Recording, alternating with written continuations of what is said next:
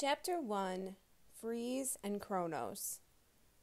The ancient Greeks are famous for their advancements and design elements in architecture. Some of the most notable and recognizable features, whose influence can still be seen today, include the three classical orders of columns Doric, Ionic, and Corinthian, theater structure, and stadiums. Although the ancient Greeks first constructed their buildings using wood, they eventually transitioned to stone, a move that captured a clear record of their beliefs, culture, and daily life that allows us to study their civilization to this day. One of the most famous ancient Greek buildings still standing is the Parthenon.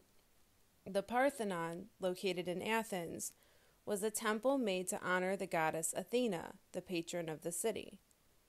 One important element of Greek temples, such as the Parthenon, is the frieze, pronounced frieze, or the long stone sculpture located on the outside of the building above the columns and under the roof structure.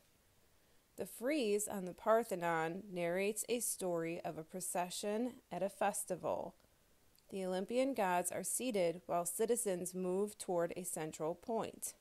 Historians still debate the meaning behind the images since there is no written record that describes the frieze.